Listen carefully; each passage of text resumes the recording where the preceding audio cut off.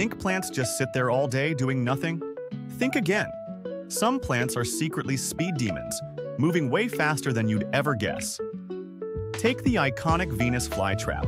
Its leaves snap shut in less than a second, trapping dinner faster than you can blink. Talk about a lightning-fast lunch. Then there's the Mimosa pudica, often called the touch-me-not plant. Brush its leaves, and they instantly fold up as if shy or startled, performing a miniature disappearing act right before your eyes. But here's the real kicker. Some plants literally explode. The squirting cucumber builds incredible internal pressure, then blasts its seeds out with such force it can launch them several meters. Imagine a vegetable launching projectiles. So next time you're near some greenery, remember, some plants are plotting their next fast move, a quick escape, or even a tiny seedy explosion. What's the wildest plant fact you know? Drop it in the comments.